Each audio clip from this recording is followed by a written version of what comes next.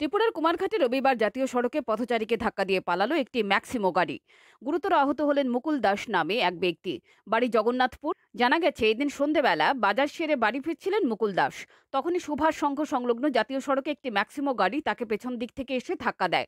এতে রাস্তার ধারে ছিটকে পড়েন ওই ব্যক্তি। তার মাথায় ও শরীরের বিভিন্ন অংশে আঘাত লাগে। স্থানীয় মানুষ দেখতে পেয়ে মুকুলবাবুকে উদ্ধার করে নিয়ে আসে কুমারঘাট মহকুমা হাসপাতালে। বর্তমানে তাঁর চিকিৎসা চলছে কুমারঘাট হাসপাতালে। গাড়িটির খোঁজ পায়নি police.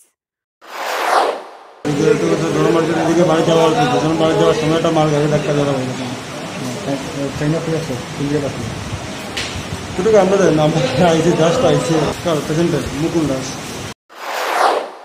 Pure Report, Channel 10 Route.